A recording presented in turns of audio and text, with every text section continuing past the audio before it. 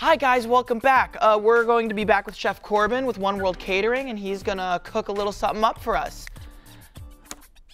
Hello, Chef Corbin. Hello, Ethan. Uh, this is my son Quincy. Hi, Quincy. Nice to meet you. I'm Ethan. Cool, cool. So, what are we gonna be uh, cooking cooking next?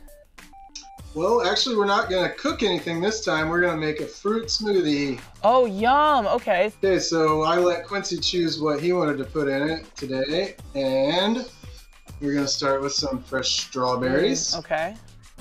Throw those right in. And then we have some banana. Mm.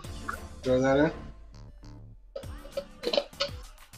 And then we have some yogurt. Okay. Okay. Plain, plain yogurt, but you could use uh, flavored yogurt, vanilla or strawberry or whatever flavor you wanted to use. hmm So we'll put a few dollops of that. And then Quincy likes Nutella in his Oh, smoothie. Wow. So that, that look like looks so enough? good. A little more, he says. He loves them. Nutella.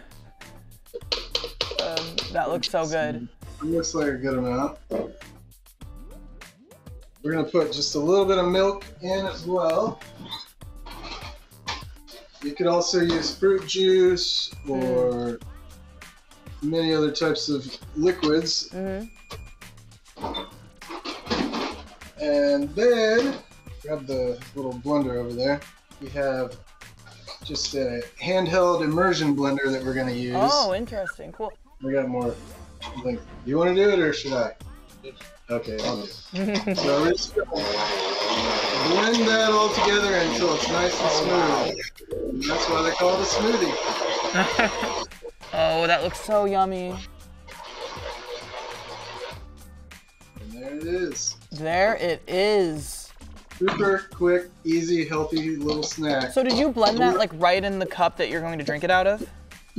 You could, yes. If you would want to make sure it's a good size cup, but as long as this would fit into it, you could use any cup. Cool, cool, cool.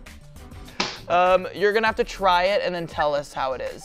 So yeah, a little pour, pouring action there. Cool, cool. There you go.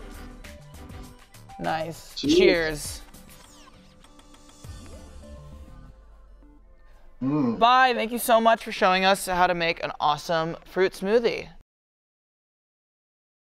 Bye bye.